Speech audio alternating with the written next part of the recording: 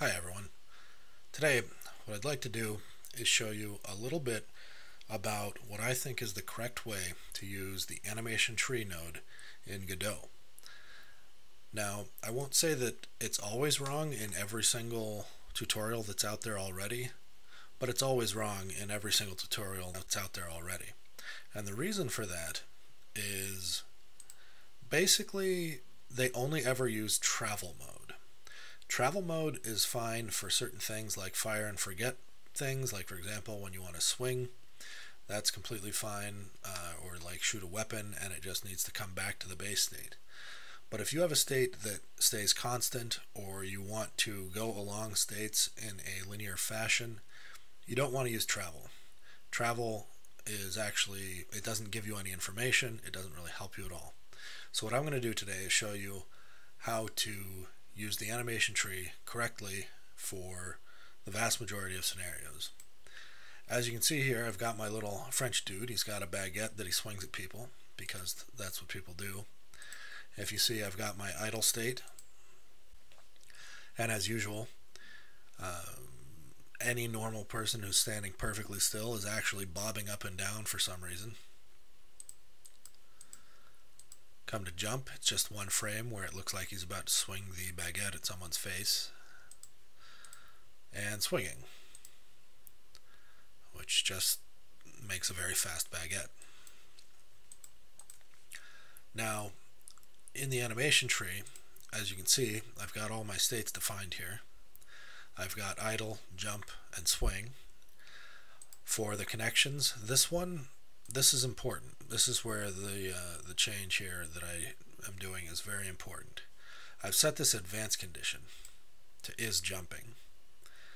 And you have to remember this because this is a thing that's going to stay true for a long time while the character's in the air. Instead of, well, we have to travel to it while the character's in the air and all this, that, and the other thing. And then we just have this with the advanced condition is, is idle. So that will time it. It'll stay in this state while is jumping is true, and then it'll go back automatically when is idle becomes true. Um, for swinging, we don't have that. And the reason we don't have an advanced condition on that is that it's fire and forget. You don't want to have to time it, so you don't want to have to say, oh, my swing takes this long, let me wait until it's done and then switch the property. No, we can just use an auto advance on the other one switching mode at end and that will work perfectly for us. So to, these are two different types. We're going to do travel for swing, but we're going to use the what I call the correct version for jump. I would also do this for running because uh, running is a thing that you don't know when they're going to let up, so you don't want to be calling travel constantly to the, the run state or anything like that. So let's go take a look at what it actually looks like in the code. Alright, so the first thing I do here, I'd find some constants and I'd find some motion, simple little normal stuff. I grab the animation tree out, and then from the animation tree I get the state machine. And now what I've done is I've set, I've made properties with names equal to the properties that I defined here for my advanced conditions. If you look is jumping and is idle. Is idle is jumping. Same things. And I define setters and getters for both of them. That's important to do. So what the setters and getters look like, it's going to be a little cramped down here. Um, and the reason for that is I wanted to save a little bit of space. But essentially, if you go to the animation tree and notice these values pop up here under conditions whenever you add a new one. Um, you can see what the path is to get them. Parameters conditions is idle. And notice this isn't on the animation state machine. In other words, the playback node. This is on the actual tree. So when you set that on the actual tree, you get different effects. In this case, what we need to do is the set and the get. We need to do both of these. We want to do set parameters conditions is idle because that's what this says. Value, so that's the value passed in. Get is idle is just doing get with the exact same path but no parameter. And the exact same thing is true of is jumping. This is, you know, pretty easy. It's boilerplate, so it's pretty annoying to do up front. But for things that you don't control the timing over, like jumping or you know moving left and right when a character stops moving, when they start moving, uh, this can also be done for long running things like stuff that you might want to, I don't know, tween while the character is moving or something along those lines. Doing it this way is going to be much cleaner. And notice we're not even setting these values directly. It's because we're always going to use these with self, just for simplicity's sake. Alright, let's look at our physics process. It's very simple too. Just normal stuff. I don't have left and right movement because I didn't need it. So the input vector is 0. I just say has jumped is false. If they hit it, then has jumped is true. That's to do some checks later. And it says is jumping equals true is idle equals false, and it sets the jump strength for the input vector dot y value. Now, as you can see, this is normal from what all the other tutorials say. Input dot is action pressed, UI swing, state machine travel, swing. So this is a fire and forget. So we don't have to worry about that one. We don't have to set some value when it comes back.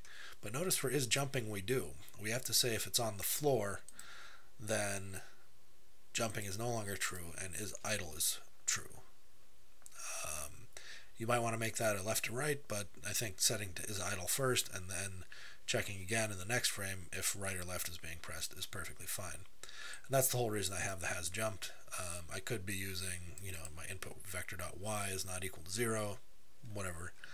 Um, in this case, I thought it was easier for demonstration purposes. Okay, and finally, we do motion plus equals input vector plus vector2 dot down times gravity times delta. Remember, whenever you're adding gravity or applying acceleration, you want to multiply by delta, even though we're putting it into move and slide. The important thing here is having vector2 dot up in your move and slide so that is on floor will return true when the character is actually touching the ground. Okay, and that's about that.